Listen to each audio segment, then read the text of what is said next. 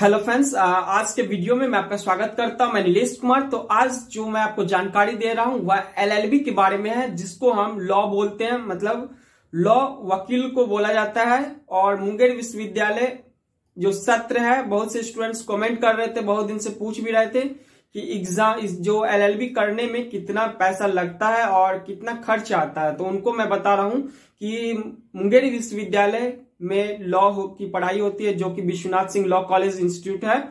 और इनमें जो आपको कुल जो पैसा खर्च होने वाला है, इसमें सबसे पहले तो मैं बता दूँ, इनका छह सेमेस्टर एग्ज़ाम होता है एलएलबी का।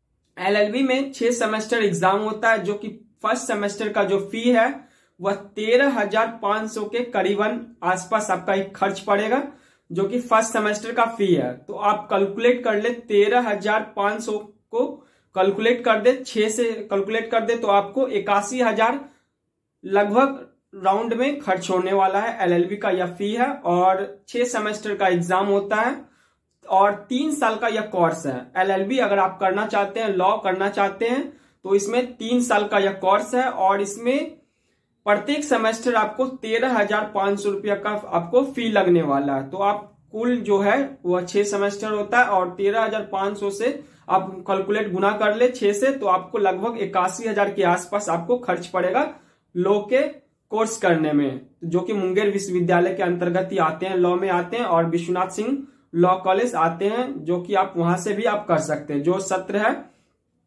इक्कीस से चौबीस भी चल रहा है और बाईस जो पच्चीस में लॉ में लिए हैं फ़ी एडमिशन लिए हैं तो उनका जो खर्च पड़ेगा वह लगभग इक्यासी हज़ार के आसपास खर्च कर पड़ने वाला है, जो कि कुल छह सेमेस्टर का यह खर्च पड़ेगा आपको।